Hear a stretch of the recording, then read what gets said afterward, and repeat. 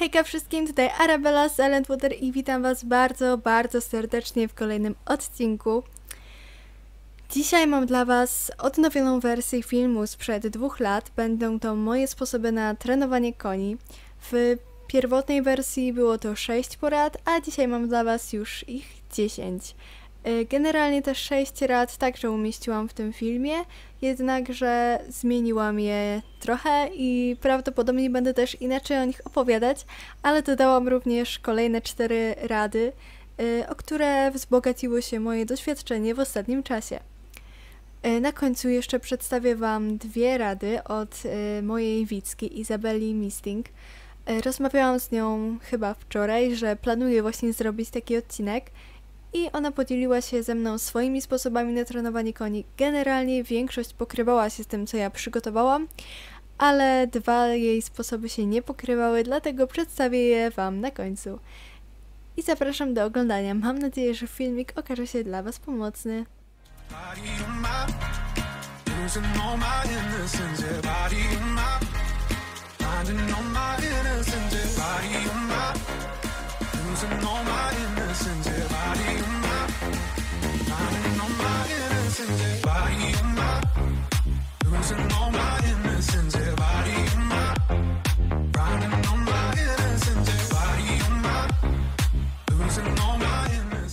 Okay, rozpoczniemy od sposobów, które są takie przygotowujące najpierw do trenowania, później przejdziemy do tych sposobów na trenowanie.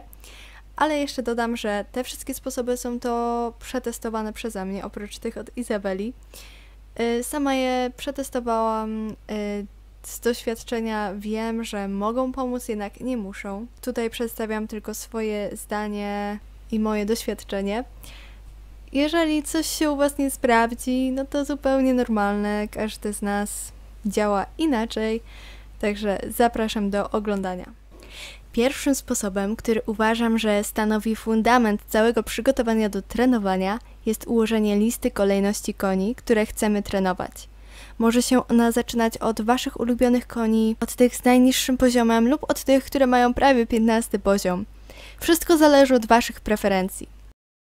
Kolejny, znów fundamentalny trik to ułożenie trasy wyścigów.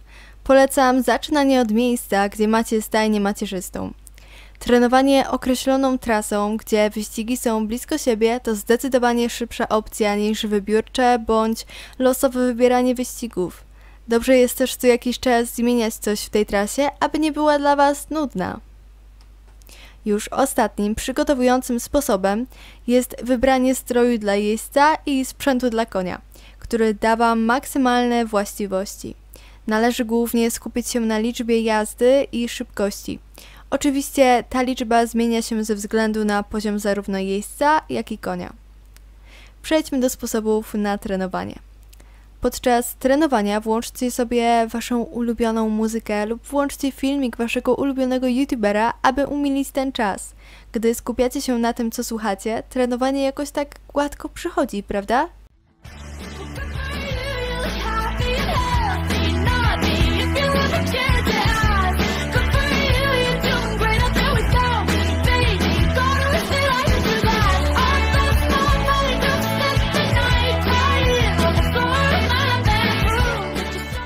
Ważna sprawa. Trenujcie tylko wtedy, gdy tego chcecie. Trenowanie na siłę nie ma sensu. Możecie je sobie jedynie w ten sposób obrzydzić. Jeśli już naprawdę Wam się nie chce trenować, a macie ochotę na coś innego, to to zróbcie. Dobrze jest robić to, na co ma się ochotę. Jeśli nie lubicie samotnego trenowania, to naprawdę łatwo znaleźć kogoś do towarzystwa. Może być to wasz znajomy, osoba z klubu lub nawet ktoś, kogo znajdziecie na czacie globalnym, na serwerze z Discorda czy na grupie na Facebooku. Motywacja to też ważna kwestia.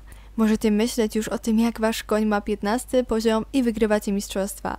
Izabela pisała mi, że motywujące może być też jeżdżenie koniem, którego trenujecie na CS-y. Wtedy chcecie, aby ten koń był cały czas szybszy i chcecie go trenować. Ja też lubię oglądać jak ktoś inny trenuje. Na przykład w YouTube'owej wyszukiwarce wpisuję Star Stable Training My Horse i oglądam. Wyłączenie czatu także sprzyja trenowaniu. Nic was wtedy nie odciąga i skupiacie się tylko na wyścigach. Trenowanie cały czas również nie jest dobre. No chyba, że to lubicie. Polecam robienie sobie przerw na na przykład poczytanie książki, wyjście na dwór i tym podobne czynności.